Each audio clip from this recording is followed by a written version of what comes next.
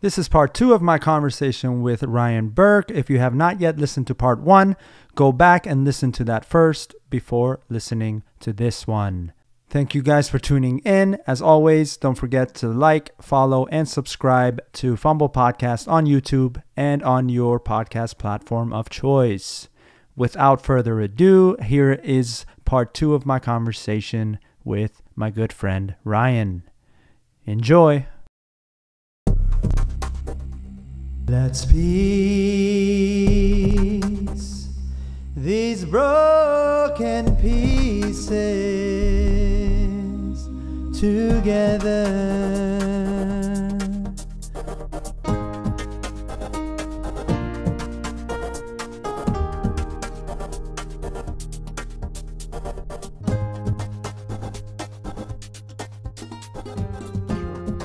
So now you you've you've spent uh, a good chunk of time now at Bosch, and Yep. you you've you kind of are going back and forth at this point, or what are you doing? Are you staying there permanently? So I'm staying there. Here's kind of another quick, weird, funny thing is that like I'm staying there, I'm a volunteer, and as far as I'm concerned, that's it. I'm good.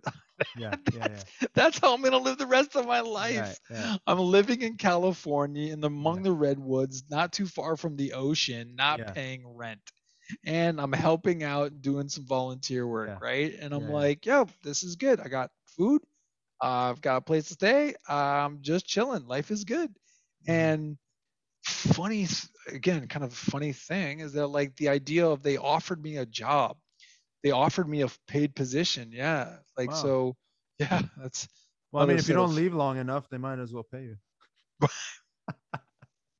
I was already getting good. I get kicked out of institutions and places, you know. So, um, No, that's They good. were So yeah, they offered you a job. they offered me a job. Um, that that kind of had like a a, a funny two part learning experience where it was like, um, literally literally doing the exact same thing, literally doing the same thing, helping out in the kitchen, doing some landscaping, hanging out with some people. Yeah. And the funny perception change was when you have a bad day as a volunteer, you're like, yo, I'm here on my own accord.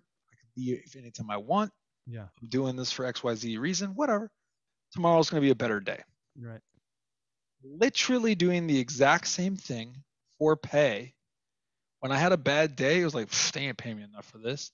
I'm Oh gonna quit. You know, like I could leave it in, like whatever. It's a good Yeah. thing is I'm getting paid for doing this because it sucks. Uh, right? You know what I mean? Like Yeah. interestingly, because it was literally the exact same thing. There's Hmm. no no added responsibility or anything. It was just Wow. the exact same thing. So but your attitude that- changed about it a little bit. yeah, exactly. Like interesting, right? Like we could have a so there was a, a really cool Hindu proverb that I learned just yesterday, and it was like the three great mysteries: water to a fish, air to a bird, mankind to itself. Oh. Wow. right? Yeah. So the idea of like, I mean, and there's a lot of ways you can spin that and how you Yeah. perceive it, right? Like, so the idea of talking about perception of those around you and the qualities and the virtues that you have, trying to explain to what water is conceptually to a fish that's born, raised, grew up, and lived its entire life surrounded by it. Like, what do you mean? Like, you know, what I mean? Yeah, like yeah, it's yeah. this is just normal life going Right. from A to B, whatever. Um, so anyway, three great mysteries. So the idea of like, yeah, my perception changed when they offered me a job, and then ultimately, kind of fast forward, um, I uh, was basically had decided to go to school to finally get, you know, get a college degree to actually get um, the catalyst that would bring me um, to to to whatever's next. Like, and the interesting thing is that like I've heard the philosophy that like encouraged plus supported equals inspired. Courage plus su- supported equals inspired. right? But you have to be supported. So if you make a mistake, it's okay. You're Mm. Mhm, You're like, hey, you know, like it's that was a miss, but you'll get better, whatever. mhm, Encouraged is like, hey, you know, you can do a little bit better. You can try this. mhm. You can do more. And that, that has to be encouraged. Your parents can be very supportive, my mom genuinely was very supportive, Mhm. but definitely didn't encourage, inspire me to try and do it was full capacity. There Yeah, was other dynamics there, right? Yeah. But once you have courage plus or c- courage, encouraged plus supported, you become inspired, become self-driving operations at that point Mm. because you're like, hey, I can go out and do stuff. It's okay to make a mistake. And I know that the bar is getting higher and I can continue to, to grow and develop. So I started to go to college basically because of a friend that was there who had said, you should go to school. And I was like, ah, you're funny. And they're like, no, I will help you sign up for classes. I'll show you how to register for classes. Encourage. All exactly. And and the fact that it was like I don't want to spend money because I don't have any money on a bunch of classes that are not going to be applicable. No, we'll help you with that as well. So the fact that like I was encouraged and supported, I've you know started going to school uh almost a 4.0 I think at the time it was like a 3.9 and it was like almost three, I think I could graduate with a cumulative 7 3.71 something like that. Yeah, so Good started you, going to the yeah, thanks Yeah. Went to the community college that was local in there um, you know learned a lot. Talk about mind opening experience. Coming from an angry teenager who's super short started a to b right? To suddenly learning about this stuff total vast change. And they earned a full academic scholarship to um, to the university of california. So um, and, and pick i got accepted to a handful. I mean you're in california so you know Yeah. the ones like I, I, I could have gone to UC Davis. I could have gone to, to Cal uh, UCLA, got accepted to UC San Diego, um, but I got the full academic scholarship for UC Santa Cruz. There you go. Um, so I was like, yo, but that's another like Bree's pretty good. yeah, exactly. but the fact that you're so by, at this point you're working at Yeah. Santa Cruz and Bosch, and then Yeah. you're you're getting a full academic scholarship to Santa Cruz, the Yeah. school. Yeah. I mean, these are these are confirmations. These are like Right. These are like there's it's a no-brainer. I'm going to UC Santa Cruz, right? Yeah, like yeah, I, I think I feel like that's what where your mind went to. Yeah. I mean, there's the whole, there's the idea of like, I mean, Oprah is not the one that originally said it, but she's often attributed to it, where it says that when preparation crosses opportunity, Mhm. that's what luck is, right? Mm. So the idea that like I was taking actions, which is again based on faith, right? For preparation, there was dozens of opportunities that had come up that I wasn't prepared for. Mhm. Eh, whatever. And there were things that like I was preparing for. I'm like, just like any college grad now, be like, yo, I'm prepared to take on the world. Where's the jobs? yeah. There's no opportunity. So like preparation, crossing opportunity. It was I was in Santa Cruz. I'd had like you know kind of uh, working for Rio College and like doing my thing, and then boom, applied to a handful of schools. There's you know side stories to all of that, but then the uh, the the opportunity came up for you know full academic scholarship to UCSC.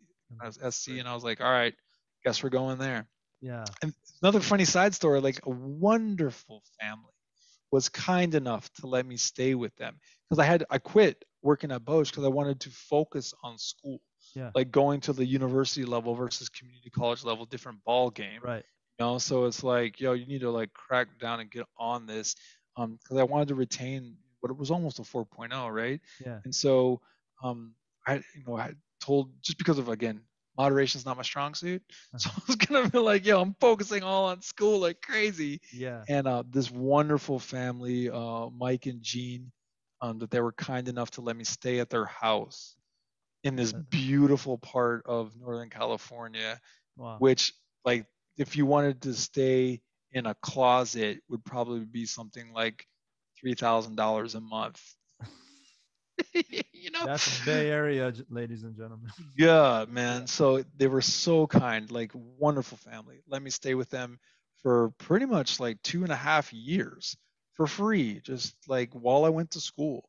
So again, another kind of divine little assistant. Things things that were put in the right path as you walk yeah, along, right? You you you're mentioning all these blessings, right? Yeah. That that you've received.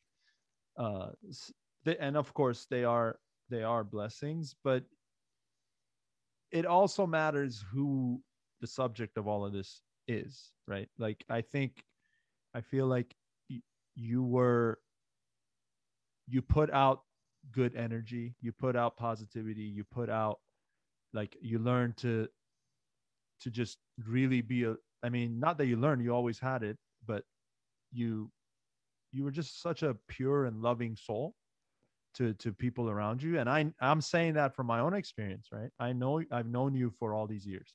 And i know that i'm i'm first of all 90% of the stories you've shared with me like i imagine myself in those situations and i would say wow i could have come out very like op- opposite end of it mm-hmm. like end of that. So there were choices that you made and you endured. You endured a lot of these hardships even though you didn't know it at the time like yeah, when yeah, you were yeah. younger right? You didn't even know it. But you something was lining up for you all the way up until these two and a half years that you stayed with this uh, awesome family. But what i'm trying to get at is they probably wouldn't have offered that to anybody. I'm saying that that you you aren't an asshole to them right, right? right. like you were you were yeah yeah yeah. you were i'm saying like it right. it, you could in those two and a half years, yeah. if you were like your 18 year old self, it would have been a different Dude. story. You know what I mean? Yeah, man. So my point I tell is, my wife, yeah. she was like, she didn't know people at work. My wife, no one believes like the teenage version of Ryan compared to the, like the Ryan now. Thank goodness. So. So yeah, uh, man. I'm saying that you you you know you, uh, you had you had to also offer something there to for that to become a uh, attractive offer for them. You know what I mean? For the family that took you in.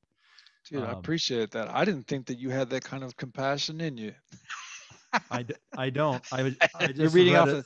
a teleprompter. Yeah, you sent me the script. I read it. Uh, Sign this contract. Send that. Send the check that you didn't have to pay the medical bills. Send that to me. Send that my way, dude. Nah, Pej, I, I man, I just sincerely appreciate that, and and certainly absolutely think the same thing of you. Like, I mean, like you, like for virtues, qualities, intellect, all of that. So no, um, man, I I appreciate that you. too. But I I obviously didn't um offer that in hopes of something in return. I was saying that because I genuinely mean it. And I got a text message from you that said, "You better say this back to me." Just kidding. Did you get the Apple Pay for the time? No. uh, no. Um. Okay. So to to wrap up, to get you to get us to present day, right? We yeah we, yeah. Let's. So you finished school, UC Santa yep. Cruz. Yep. Uh, you studied. What did you study again? Uh, business management and economics. Business management and economics. Yeah. Um, you finish school how how long until a you find your better half and then b uh find the opportunity in austin? Yeah yeah. Um she says hi by the way. Like uh, she originally wanted to come over and say hi real quick. Um okay so the timeline to find find um, my better half and the opportunity here in austin so um, luckily, it was kind of again through the benefit of, of networking on, on you know, people that you know. Um, I think a lot of a lot of stuff for if you can have a and this is with internally and corporate culture as well. If you can have an advocate, if you can have someone that will speak for you or vouch for you, you know, your own tr- personal champion, that will help accelerate things significantly through throughout anything. Right? Yeah. So the fact that like um, I had just finished school, uh, was 2011, and um, that um, basically was, you know, the whole announcement, pictures, ah, graduate, blah, blah, blah. A friend said, had sh- long story again, short on, you know, like, hey, are you interested in the position in in a in a management position in, in Texas? And um, yeah, yeah, yeah. So I was I was kind of like, um, all right, well, tell me more about it and it was um, it was food and beverage industry. It was uh, the job was a, a, manager at a convention center. So basically, uh, the, the big events, giant convention center. Mm-hmm. Um, every major town has a convention center. So yeah. um, they, you know, I came out and basically, like in my car, like packed it up, drove from NorCal down to LA, hung out with some friends, and then crossed over to Texas which is a really long drive. I just want you to know, like, don't think it's it's a long drive. I've driven from Maryland to here, and then I've driven from Virginia to here. Both times, five to six day drives. So That's a long drive. I know. I, I Ooh. luckily I got the jeans from my dad, which equals uh we have nothing to do, so we drive for six days. so you drive like crazy. Yeah. Yeah. So drove out here. Actually, so again, shameless plug because there's so many Californians, myself included, that are moving to Austin. I'll tell you, I'll go on record right now and say Austin is terrible. Don't come out here. Don't plan on visiting. Don't like well, other than the shooting from a couple days ago, but but no, I mean honestly though, I've heard such good things about Austin. You're Dude. kidding me. Austin's great, man. Austin's Austin's absolutely anyone that comes to Austin loves it, and that screws screws up the entire housing market. Okay, that's where you're going. All right. Listen, man, you've got, you've got some breaks in your life. You need to give back. Okay? That's actually a very good point. They absolutely, bro. You could you could sell your like uh, someone could sell a shack anywhere in California, like living in Modesto, and move out. I got a beautiful home, bro. I I love like it's that's great. 2,300 square feet, like Wow. like vaulted ceilings, big No way. Look at that. man. I'm telling you, like there's you can't. I couldn't not in California, right? So yeah, I know. um Especially Bay Area, the the its own economy within the world. So yeah, dude. so yeah, you get yeah. So this opportunity of yeah. uh, with the convention. so yeah, yeah, yeah. So on the so I'm so I come out and the the, the um the, the I guess the the president of the company uh again kind of a friend of a friend networking stuff like that. She lives in Houston, right? And so she was like, hey, we'll come to Houston, whatever. We'll get some barbecue and we'll we'll talk about it, you know, more in detail. Set you up on board basically. She was describing an onboarding process to get me ramped up to be like the new manager for a convention center. Well, I did not like Houston. I didn't No, It was- okay. dude uh, no man like i mean it's it's kind of it's grown on me now since then having you know being closer and going to visit or whatever but it was like i mean nothing in comparison to california traffic I got you. sure yeah. you of that but like a lot of traffic nonstop. Think of like new i mean you're from the east coast so like think of new york Yeah. kind of with cowboy hats and a big truck. Yeah. you know what i mean? So Yeah, that's yeah. a lot of houston man. So it's a lot going on and it just wasn't for me. I was like Okay. eh, not impressed or whatever.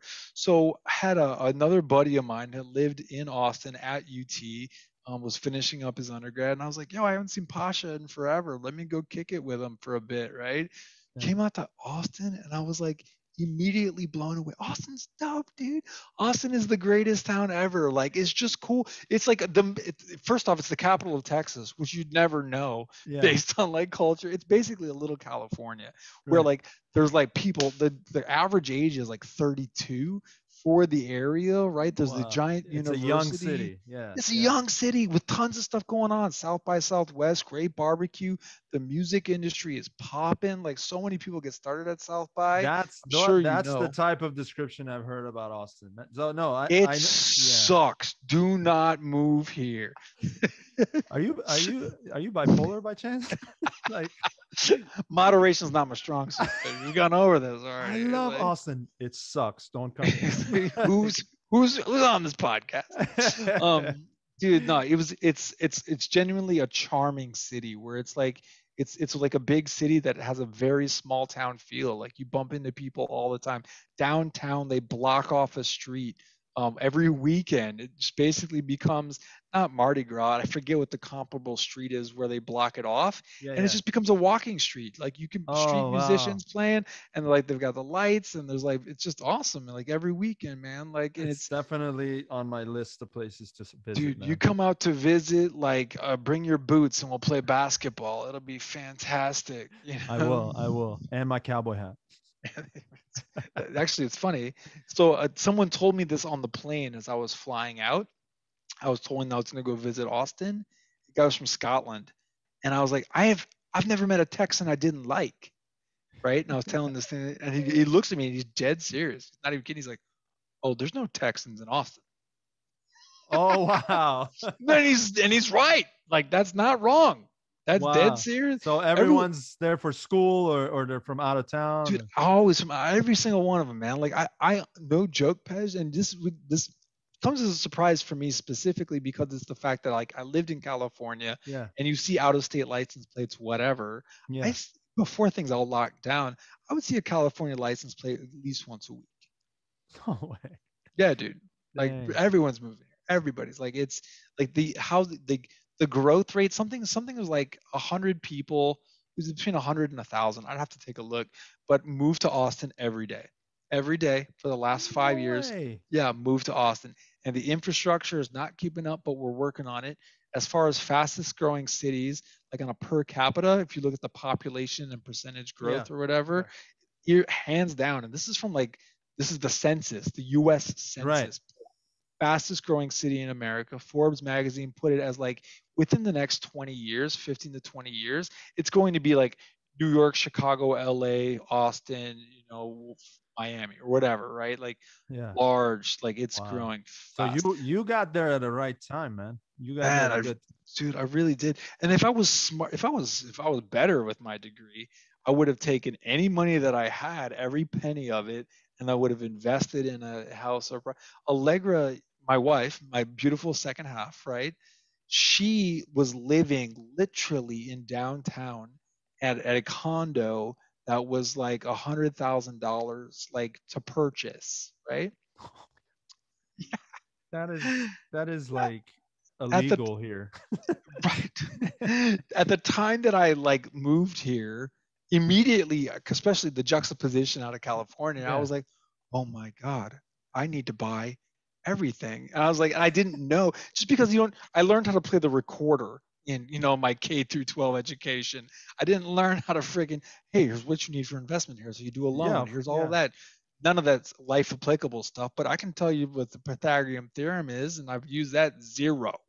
Um you know so um so anyway but the but eh, man man, it's it's growing fast it's growing fast and That's amazing. Well, so I'll show you a great time. So I'm here in Austin. So I check it out to Austin. I leave Houston, going back to the timeline. So I go to Houston. Houston's okay, and I leave Houston, and I'm like, yo, but Austin's pretty dope. yeah. Like got you know football field, and so I um hang around a good time, and then the the company owner is like, oh, you would be managing at the Austin Convention Center. I'm like, all right, well now we're now we're talking yeah. you know, yeah, yeah, yeah, like, yeah. You know like um so let's see the paperwork so um got the job started working at the convention center um can't say anything bad about it nda non-disclosure agreement can't say Ah. anything bad about it that's not actually true but it's the best practice like in corporate, right? yeah, yeah, yeah. so um so it was good i mean like granted it, was, it certainly i mean galvanized like my work ethic like as Yeah. far as like you know like hey you need grit and and catapulted me to like i think the success that i'm at now at my current um position because like you know 14 hour days you when you do an event you go to an Yeah. event if management's there start of the event to end of the event right so if you Right. got like a all day conference you got there at least an hour in prep in advance and then Yep. hour after so it's like you're doing work so when I, my colleagues at, at work now they're like hey ryan you know, it's like, you're- it's like eight and a half nine hours and i'm like i'm accustomed to 14 hour days like and it wasn't sitting at a desk you know like yeah, yeah, yeah. cakewalk man you know right, so right. Well, um, don't don't tell them too much. They're gonna put you out in the field. right, right dude yeah oh man so um so yeah so did that for like i guess a handful of years three four years and while i was working at the convention center um met my beautiful wife who had just finished up grad school here and she Wow. was like a oh man she's an incredible person she is an incredible person like it was really cool you meet i mean I, let's let's be real right there was a i was ready i was like i was like college grad you know like time's ticking like late Yeah, 20s You got a good like- job now. Yeah. I got a job. Exactly. Let's start. Where are the prospects? Right? Like, hey, beep. You know what I Yeah, mean? yeah, like, you know, like, um, and you know, you you kind of there's a whole study on like sociology, depth percep- perception of others, and how you disclose information and all that stuff. Yeah. And and Allegra was very much a unique person, and it was like it was our our, our first date was actually not a date at all. Like it was it was a well, let's just hang out with friends. It was kind of like a hey, I'm gonna go do this thing. So I met Allegra, and I'm I'm happy. Like since we're recording this, I actually would be. I don't think we've ever recorded the conversation. I'll give. I'll, stop me. Fast forward. I can be like TiVo, bro. Like you want to like chapter two, whatever. We'll do Yeah. it. But I met. There was a friend that had done a really cool concept, soup potluck. Okay Hmm, okay. soup potluck and she basically um, delegated people like hey can you make a soup for maybe like 10 15 people can you make a soup for maybe 10 15 can you make a soup and because soup's pretty easy right it's Yeah, hard to yeah. screw up soup right Yeah. and freaking she'd ask like five or six people to make soup sometimes there was duplicates most of the time there wasn't and make soup and then she would ask other people with larger homes or nicer areas or whatever would you mind hosting some friends of ours that da, da, da, da? Yeah. and like 50 people would show up at these things for like you know um, once a month man Yeah. katie's soup potluck dude like you would show up legit like Wow. so so i uh i i you know had gone to this thing because it was you know networking getting out whatever something fun to do and it was always a good good crowd and um and i had seen i had seen allegra a couple of times you know because it's you get the regulars you get the handful of new people but again it's like 50 people so hanging out chit chatting Yeah. whatever and um and a friend of mine was like hey ryan these girls are from California too. Come and talk to them. In my head, I was like, great, just what I need. Another girl from California. Friggin' just, just like whatever, right? You know? Yeah, so yeah. and um so we were just kind of just chit chatting and hanging out or whatever. And um it kind of like, hey, I'm I'm gonna go paddleboard. She talked to me about paddleboarding. I'd never been paddleboarding, right? Okay. And it was kind of cold at the time to outside. Yeah. Cold. This is coming from a Minnesotan, right? Yeah. Right. So the fact is like, all right, you're gonna go paddleboarding, and I was like, all right, well, cool. She's like, well, when we warm up, we'll go paddleboarding because I like to paddleboard. And I was like, all right, that sounds good. And in the meantime, it was like, well, hey, I'm I'm going to an art museum or I'm going to a movie with a bunch of friends. Pasha was one of them. Do you want to Yeah. come? Hey, do you want to you know do this thing? We're doing I'm going to a concert. Um, do you want to come? You know, kind of. And it was like always groups of people just hanging out. And and so there was when things finally warmed up a few months later um, we had set up to go paddleboarding, right? Yep. And it was my buddy Peter, myself, Allegra, my buddy Dan, uh, Dan's girlfriend, a group of us. We are all going to go paddleboarding right on the water. That's another cool thing about Austin. It has a river. Colorado River goes right through downtown Austin, oh, cool. and people get out and kayak and paddleboard all the time on it. Yeah. So it's like downtown life That's with pretty- water, Yeah. right? Like it's, it's awesome. Yeah. So, um, you know, like there's five of us, we're gonna go paddleboarding, and this is we had gone out as friends a handful of times already, Mhm, right? And so Dan called me that that morning or like the day before. No, it was that morning. Yeah. And uh, he was like, "Hey man, I'm really sorry. Me, me and the girlfriend can't make it. Really sorry. Can't make it to uh, to paddleboarding, right?"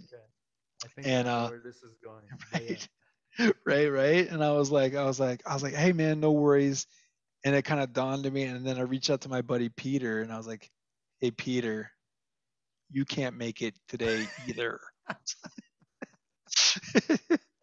and was like okay you know and so like we meet up at this restaurant it's like one of my favorite restaurants in town Yeah. and Allegra's like, "Hey, where are those other guys?" Right? And I was like, "Oh, Dan, Dan couldn't make it. They, couldn't make it. Like, here's a text from Dan. Hey, man, sorry, me and me and your girlfriend got a bail. So I guess it's just you and me." yeah. Yeah. and so we're Not like, mentioning Peter at all. nah, Pete didn't want to come. yeah, he's terrified of paddleboard. And I'm like, and so yeah, and so um, and so she's she's described it. She goes like all of a sudden that she's like she's like I suddenly get really nervous. She's like I was on a sneak sneak attack date. Suddenly it was just me and me and Ryan, you know, Yeah, like just yeah, the two yeah. of us, and it had never been just the two of us right. Right. and we you know we uh, we got some got some lunch. Uh, we went down. We did some paddleboarding, just floating in the water, just hanging out. Yep. Uh, and Allegra, Allegra laughs at me because she goes, after paddleboarding, we have we had wrapped up. That was it. That was Yeah. the planned event. You know, sometimes it was movies, sometimes it was art, whatever. Yeah. Paddleboarding, check, done.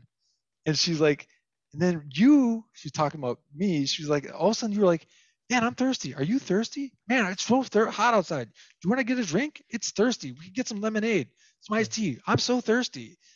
Well, we've that's- we've discovered that you're not good with moderation. So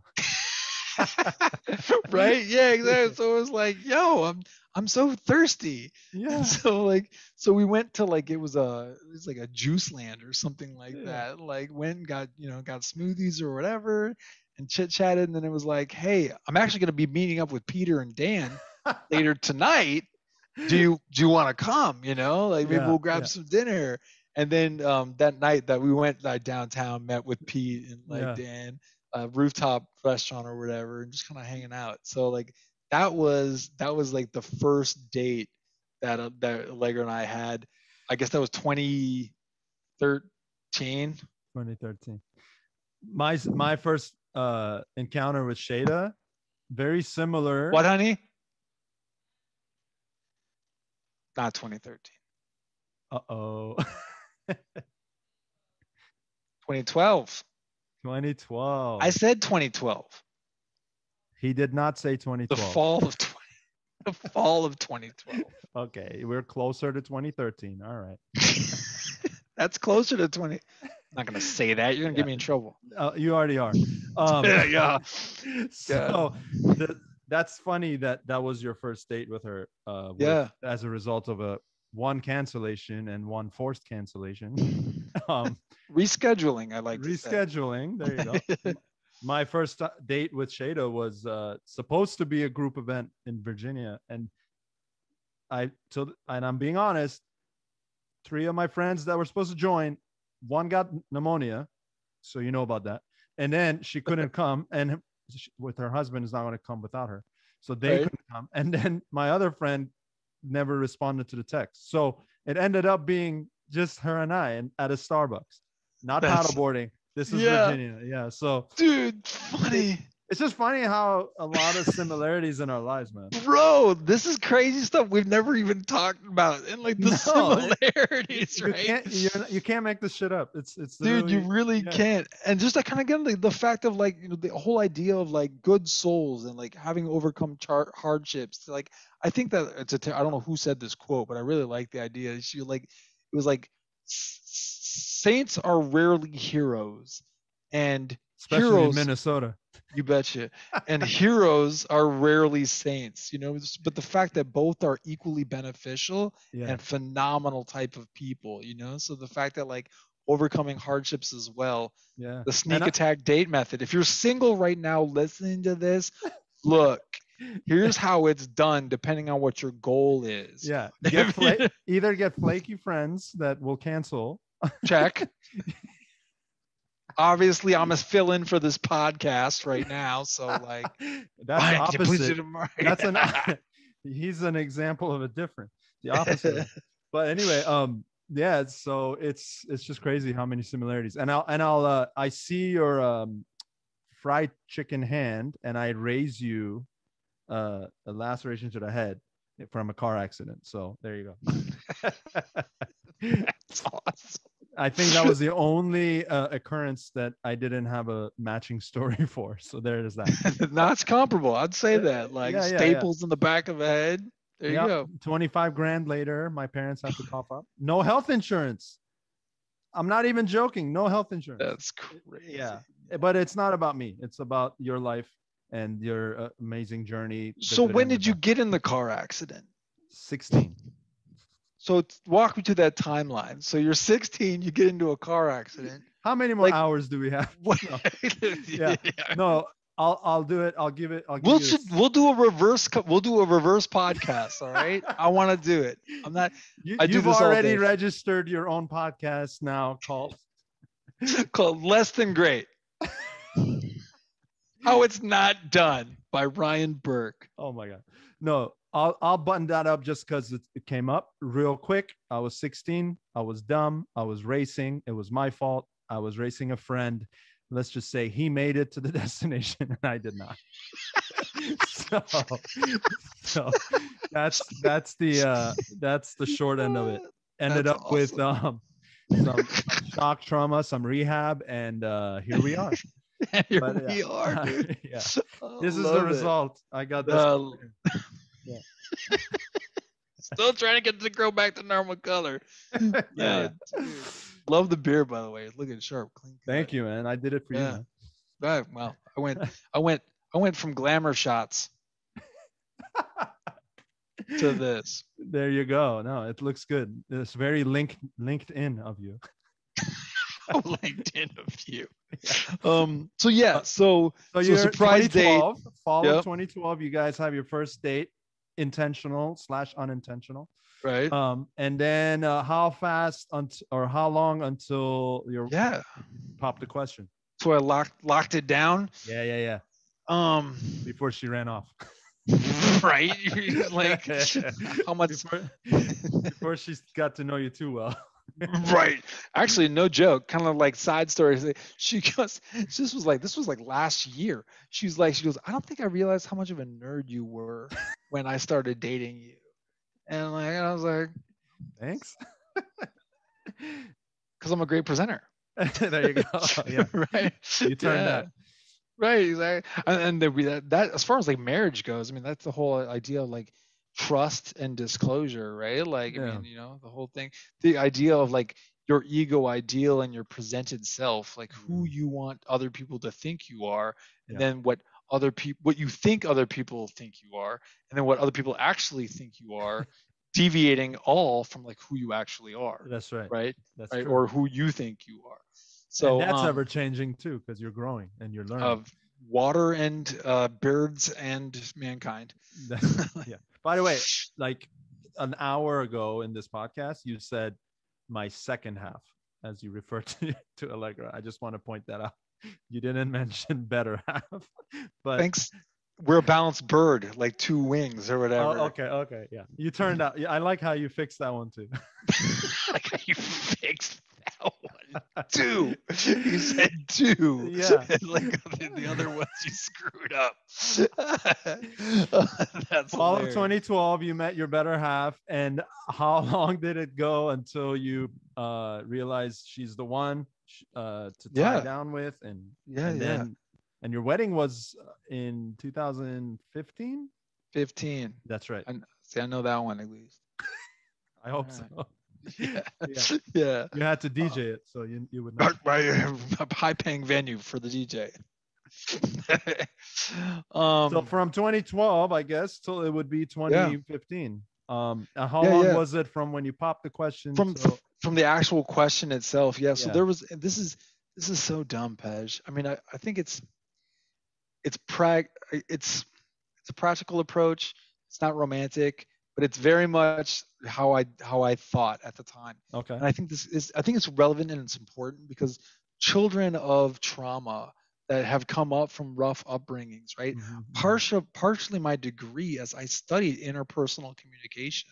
mhm. I studied interpersonal communication because I did not want to have a divorce and that it impacted like you know my Uh, my kids and my marriage or whatever. Yeah. So because it was very very important to me to Mm-hmm. The disclosure wheel and like the Johari window or Johari window and, and all the theory behind it because of the fact of like I wanted they want to be fighting my entire rest of my life. Right. So so so I say that because there's a certain chemical in your brain, right? And I don't know which endorphin or serotonin or whatever, Yeah. but it's got a max shelf life. A max shelf life of 2 years. Max shelf life. Okay. After 2 years that chemical stops firing. And so Oh. you see couples that are so perfect for each other people that you, I'm sure you know that you're like, wow, well, they're getting married or they're such a great couple. And then oddly, right around the year and a half, two and a half years, they break up. And you're like, what? Like they were made for each other. That's perfect. Like, what? And it's Mhm. because of that, whatever genuine you want to talk about levels of perception and whatever, that, sh- that, that chemical disappears. And now what you're left with is very pragmatic rubber meets the road here's the person the good the bad the ugly Yeah. the the what you oversaw or what you justified or what you forgave before because of that that perception that chemical And I think we call that the honeymoon period. The Yeah, the- honeymoon the- phase.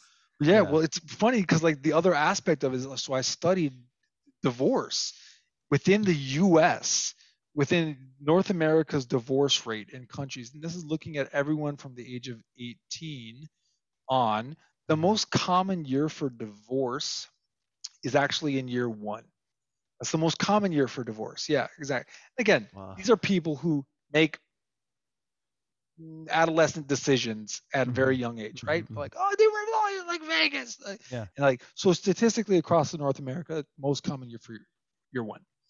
The second most common year for divorce is actually year seven. Again, give or take. There's a phrase for this as well called the seven year itch, right? Like the seven year itch is when it's like, hey, I'm not old and decrepit. I'm still kind of young. I've still got my good looks and charisma. Uh, I can yeah. still pull the eject button and I'm out and it's still going to be okay and I'll be able to make it work.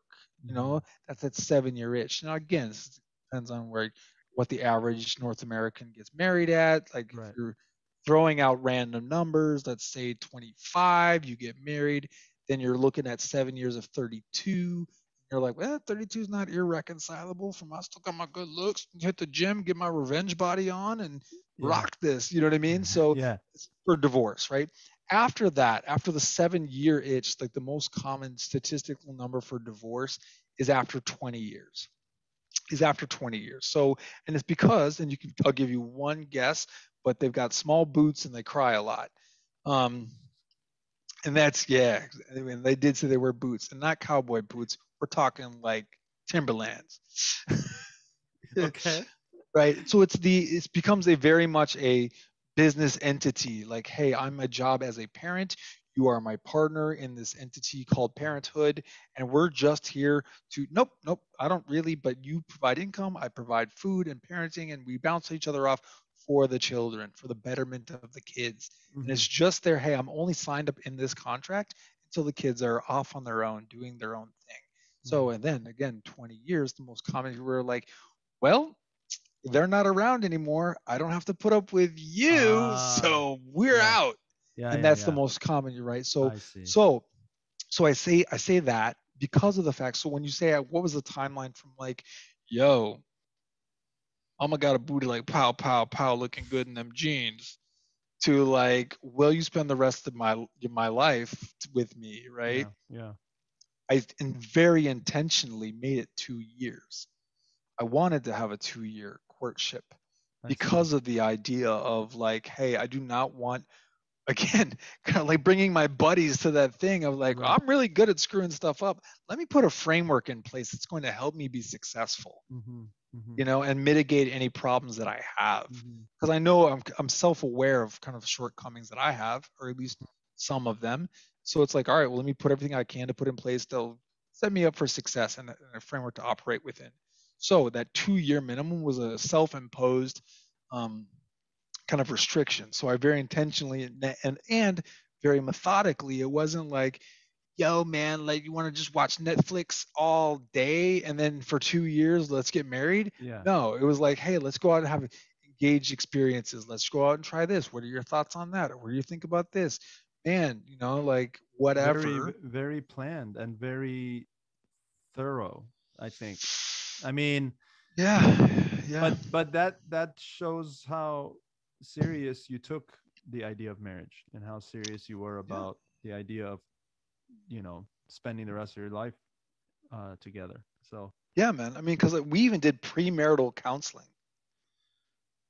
Wow. like pre premarital counseling when spoke and in fact the counselor i'll never forget she was like this is great i loved seeing couples when they still love each other typically we see couples in here on the later end you know what i mean yeah, but yeah, yeah, yeah. we were like we were either we were you know um asking to get married or ask asking parents when i met her dad he, he's a scary looking dude man he's not a Mm. scary guy but like intimidating Mhm. looking Mhm. like you're like oh god I, I, he's still in my phone as mr thompson like Uh, that's wow.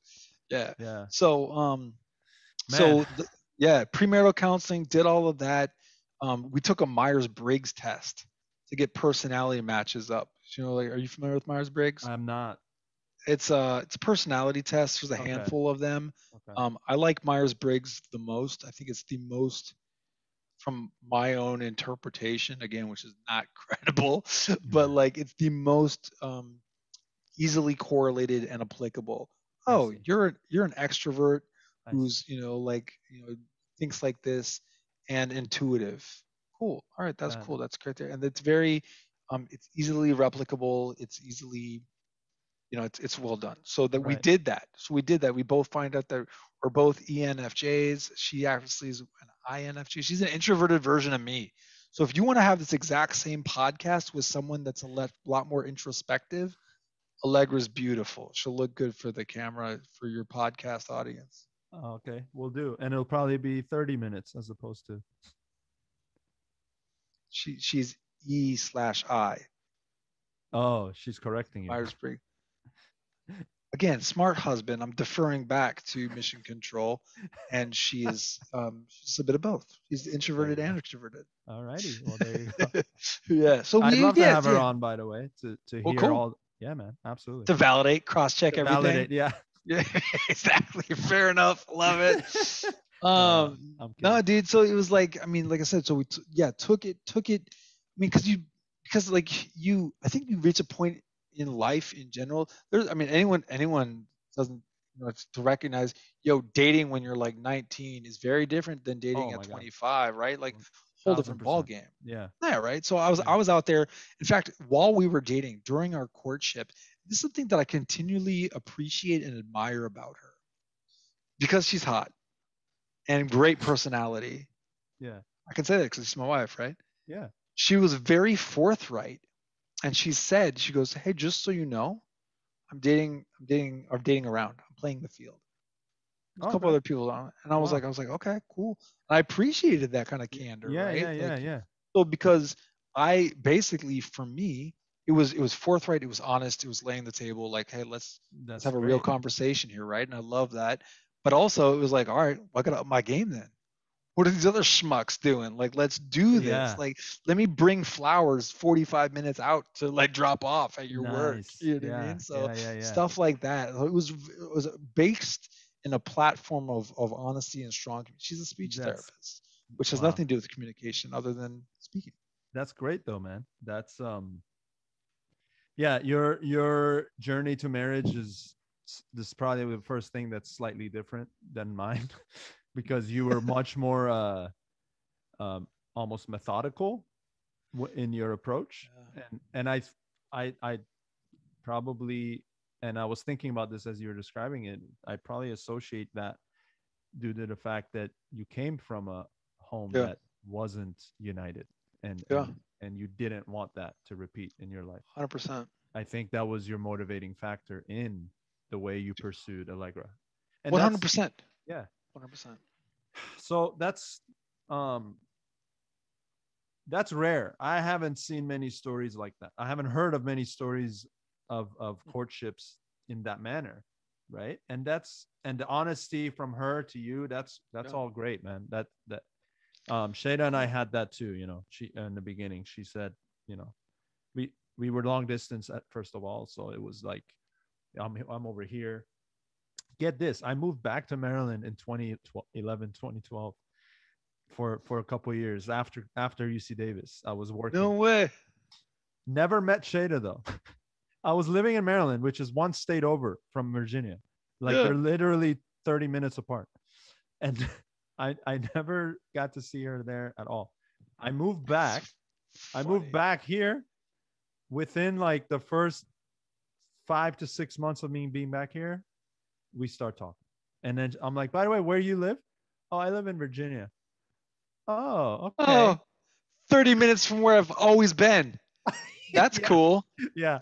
Well, it was cool in that sense because we actually had a lot of mutual friends and we understood. Oh, that's yeah, yeah, yeah. That yeah, yeah. cool. We actually had, you know, and she's same religions background and everything. So That's awesome. yeah so it was um it was it was interesting so our our relationship was different in that sense we weren't really seeing each other as many times as we wanted to but that was a we had enough experience in dating by this point.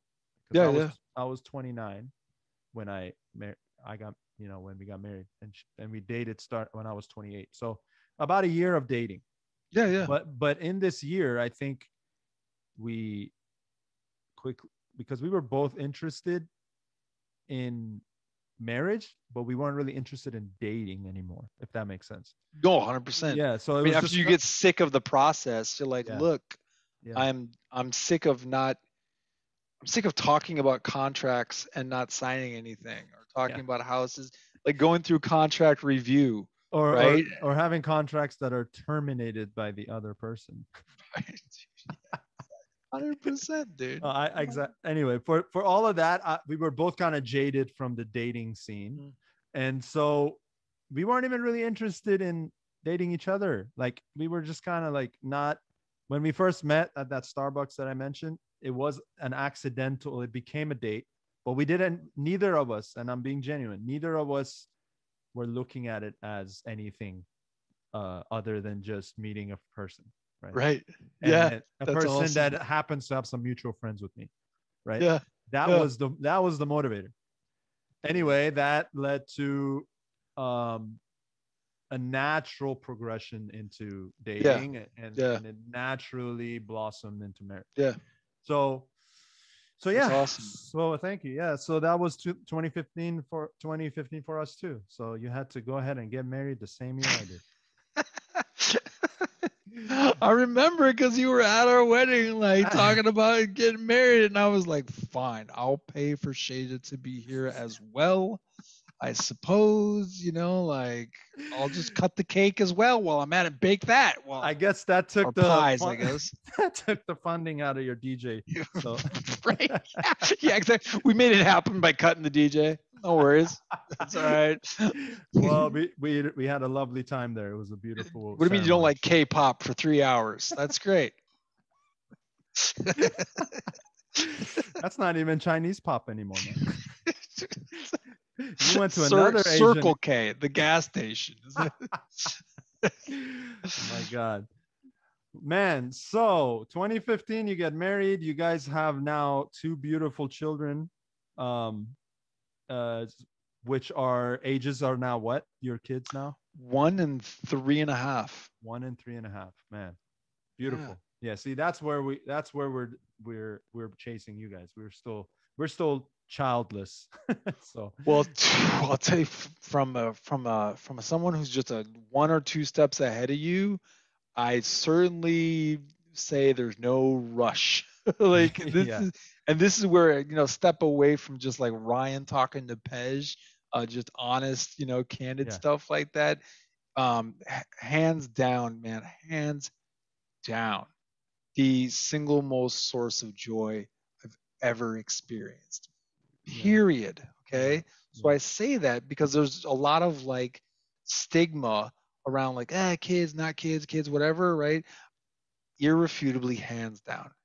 Now, with that stated, because that's the first and foremost, Yeah. continual appreciation and joy.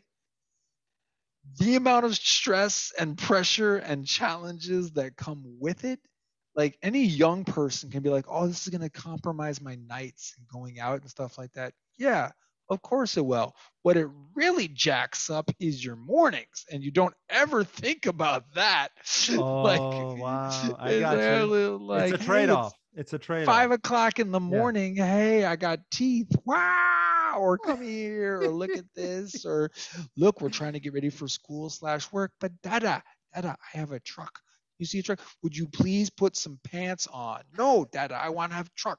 And it's like I have to leave and be at work in like 10 minutes. So if you could please put Dada, Liu, Liu threw up in the thing. No, you didn't. You spilled the water. Like mornings. Did you mornings. do you enjoy that chaos though in hindsight? Or as you're looking at it now? My beautiful wife like who's like i could not do this without her. Mm. like you know and again this is like the, the very the very real thing man. Like the the id- kids are fantastic so cool unbelievable unbridled continuous sense of joy. The the practical life aspects of it, getting you know locked up in a house, and not having them being able to go to daycare because of where we're at right now for, COVID, for yeah. pandemic and stuff Yeah. like that. But um, she's incredible. She's an incredible person. She's very very. Both of us are are gritty in terms of our work ethic. Mhm. You know, like I said, Mhm. 14 hour days, 16 hour days. Allegra's just nonstop, all to go on being a mom, you know, entertaining, cooking, taking out parks, playing, all of that, trying to do mostly screen free as much as possible. Yeah. Um, which I commend her for. Um, but it's it's certainly it's certainly a challenge. So when you say like, do I enjoy do I enjoy the chaos?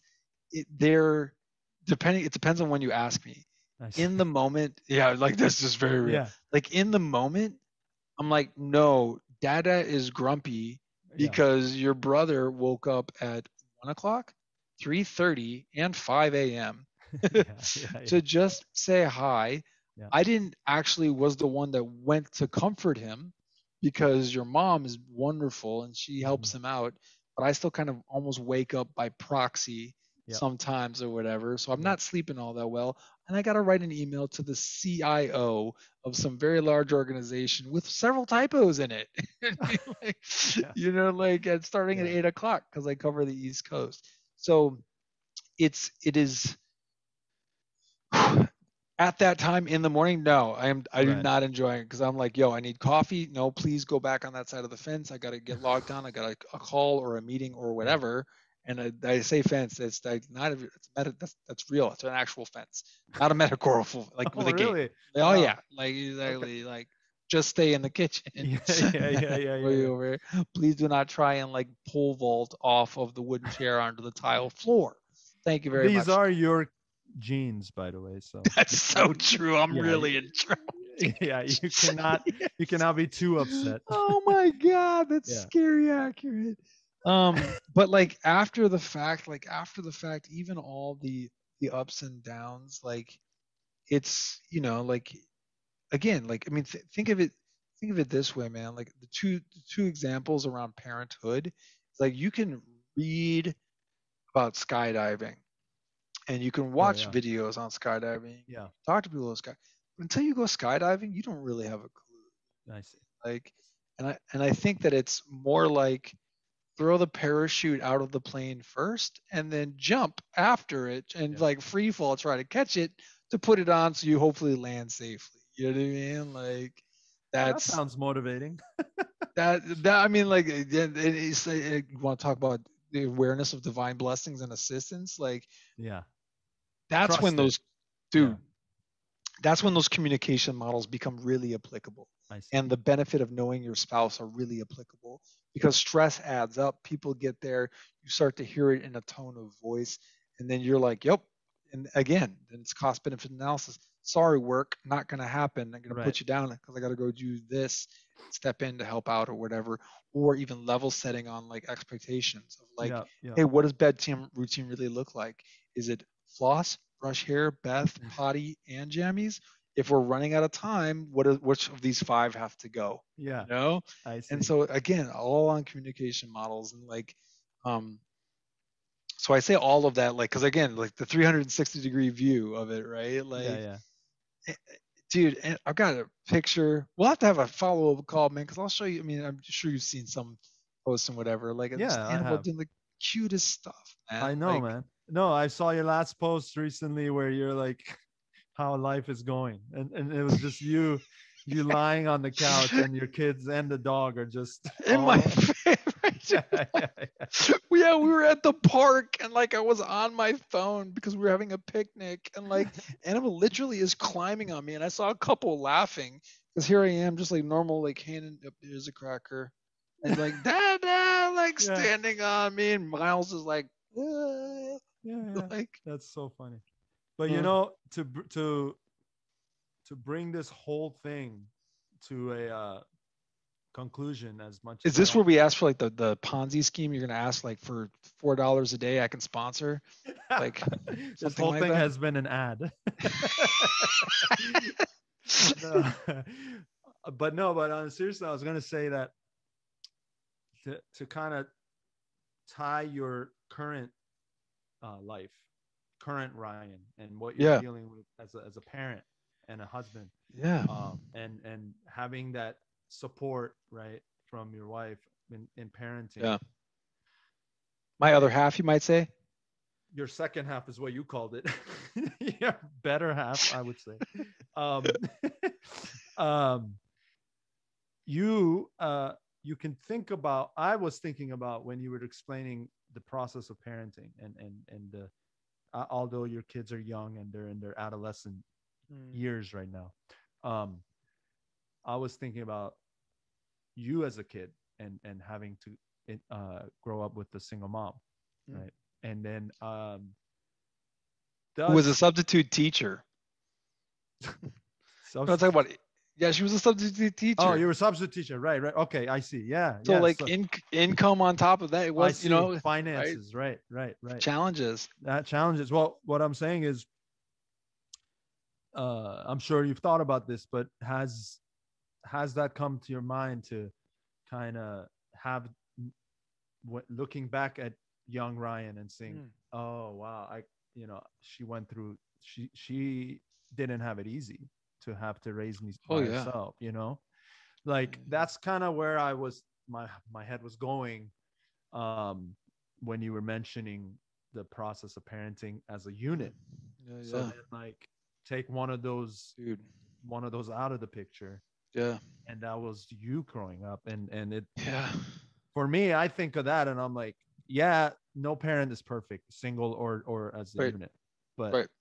but those challenges i feel like you have a deeper understanding of what she was going through probably Oh man, yeah. No, having having become a parent yeah and reflecting back on my my mom's own uh, accomplishments really for raising both of us because then on top of on top of being the single parent was diagnosed with breast cancer Yeah, stage 3 yeah. breast cancer when i was like 13 something like that. Yeah. and then like and then i mean at the time it was like radiation chemotherapy and all that stuff. Like medicine was not as advanced as i'm making myself sound real old but it was like i remember my mom like crying on the bathroom floor like trying to shelter my sister from coming over to see it while she was losing her hair and like for one thing or another or just sleeping and having neighbors bring us food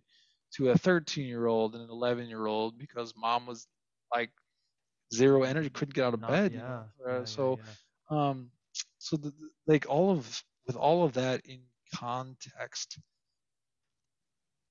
it sounds again it sounds a little man it sounds a, a little weird and honestly i would probably have to talk to like a psychologist to give a more accurate assessment Mhm. of it because there's two my perception the twofold aspect of it is i feel like i feel like allegra and i live in a different world than what i grew up in Mhm. like and i and i say that because of the fact of like this is so dumb it's because i studied economics but the fact that like i have a, an excellent job that that compensates well so we're given more opportunity and luxury to make decisions and do the patch well just you know why don't we just go out to eat tonight? Uh-huh. Because you know i'm exhausted from the kids and i haven't prepared anything and because i've been crazy busy haven't gone grocery shopping Yeah. that's cool no sweat. And we'll have weeks where we go out for a, three nights a week or something like that right? Yeah yeah yeah. And that concept alone as an indicator of how different the world of what it was growing up for a low like lower income household where we went out to eat once every four months you know what i mean? And like Mhm, and it mhm. was a big deal Yeah, like you know going out to eat. So and, and my mom just didn't have the tools or the resources to just ah well you know what? Just do this right? And like she even actually introduced to me the theory of different income classes and how they perceive food where it's like Yeah. the upper echelon it's always like does the food look nice? Is it presentable? Uh-huh. is this appealing? Whatever. And the middle class will ask like yo does this taste good? Sometimes it doesn't taste good. Sometimes it's like real crap but does it taste good? And then the lower the bottom bottoms you're like do we have enough food? Like that's the only underlying question. Like Yeah. doesn't matter if it looks good. It Yeah, never yeah. like, whatever. Does it taste good? Who cares? Is there enough to make sure everyone feels full?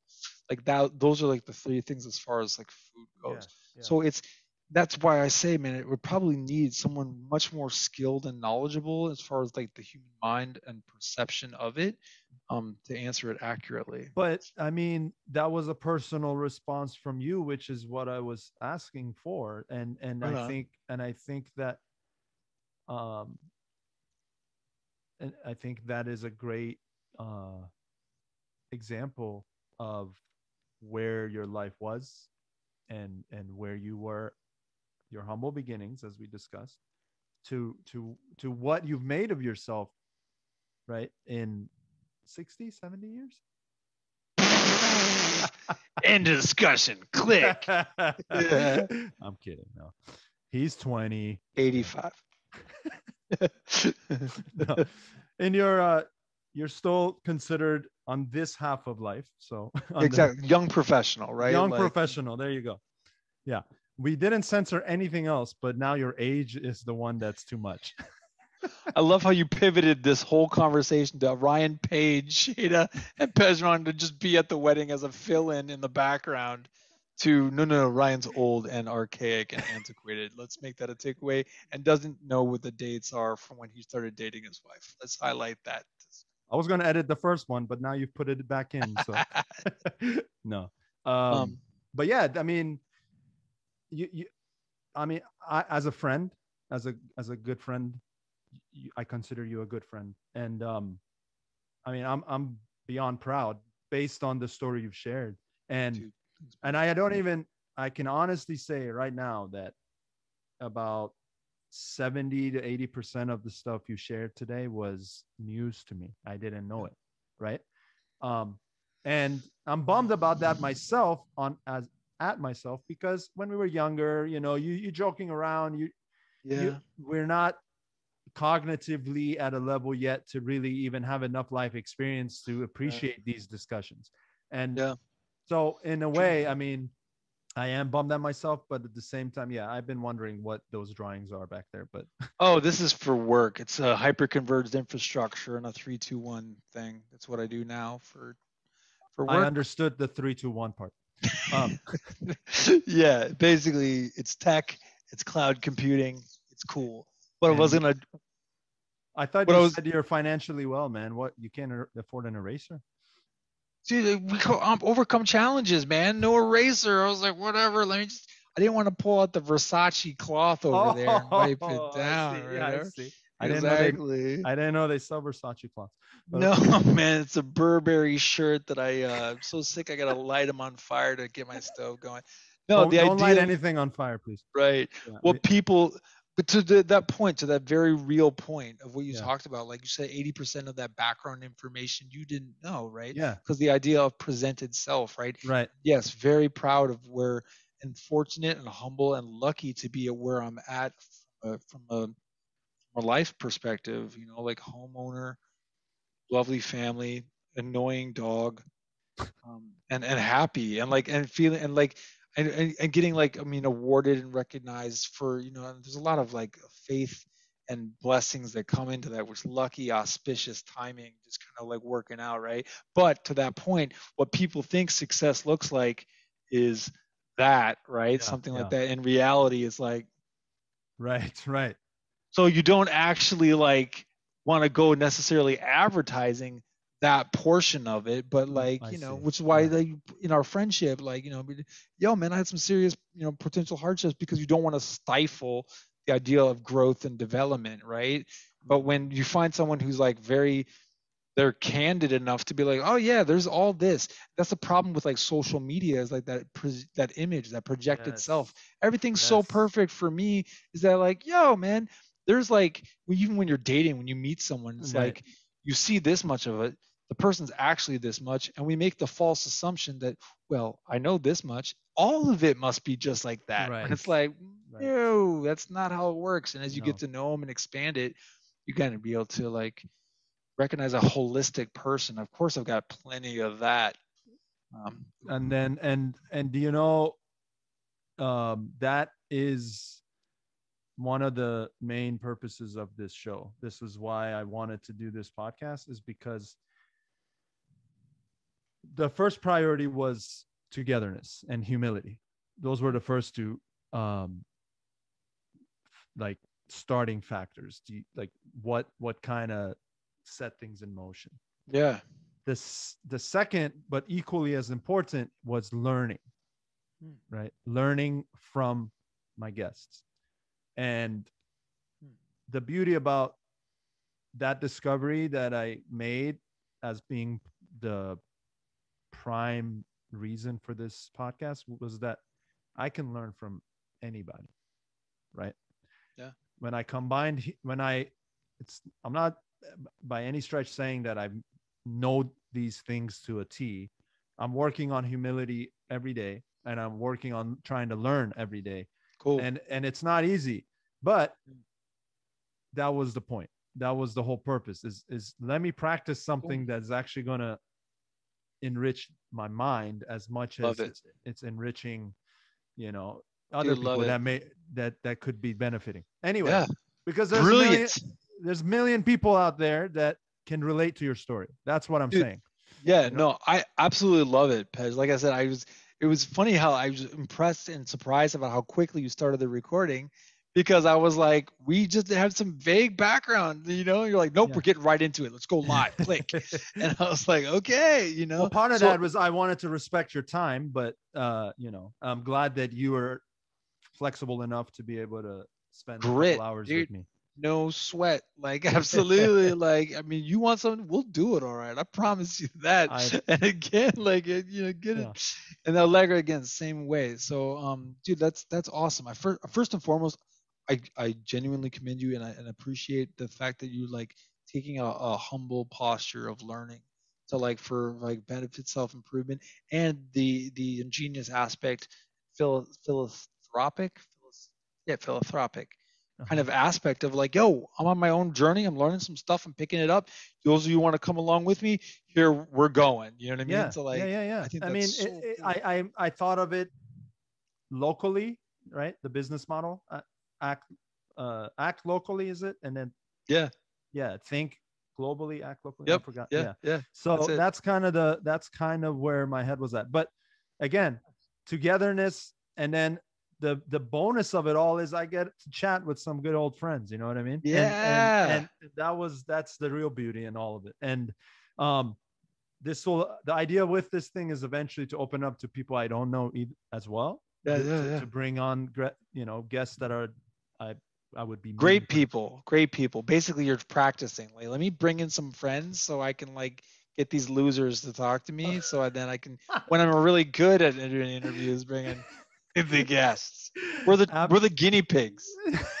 That's it, right? That's it. These are gonna be in the if there is such a thing as a Hall of Fame of podcasts. You and the other friends, these are gonna be the OGs, man. You guys are Dude, what love it. You guys were were what has helped this thing grow to 11 episodes and beyond up to 13.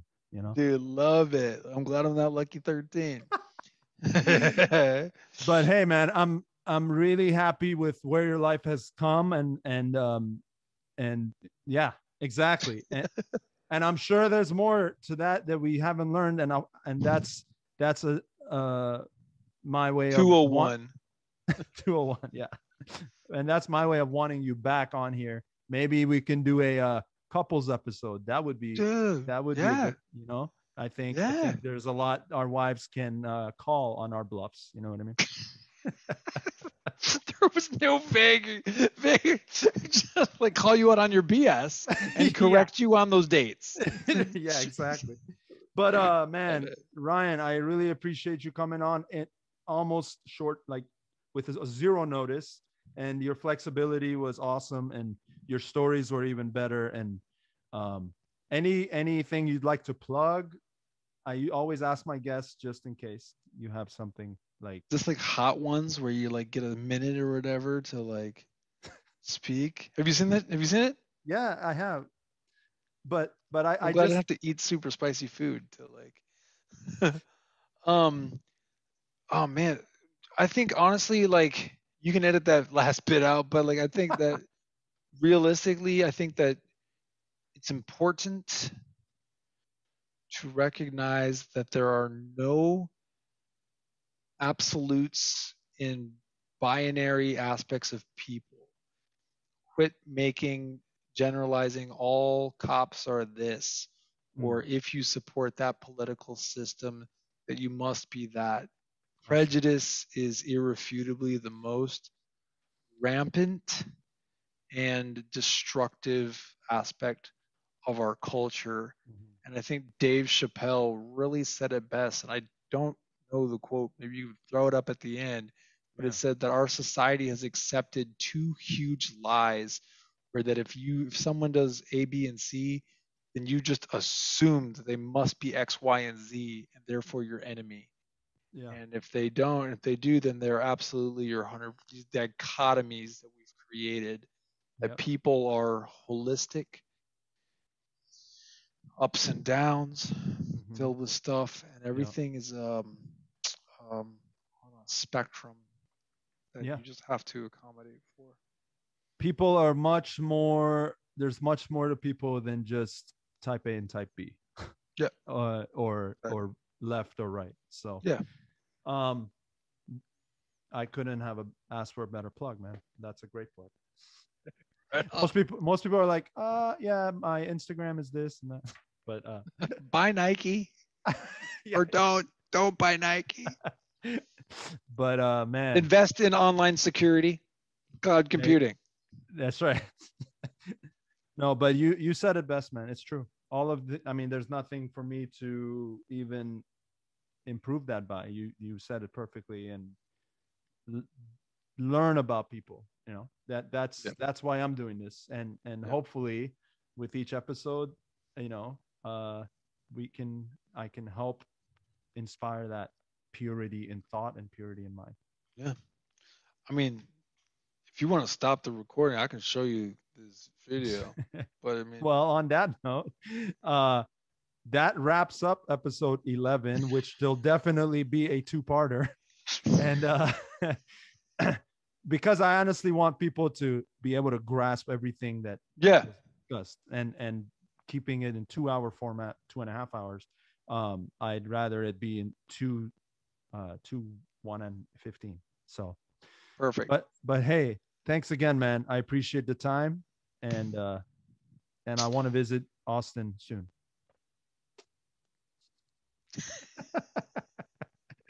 Love you, brother. Love Thanks you, man. again, man. See ya. As always, subscribe, like, and follow pHumble Podcast on YouTube and your podcast platform of choice. Thank you again for listening, and I'll catch you on the next one.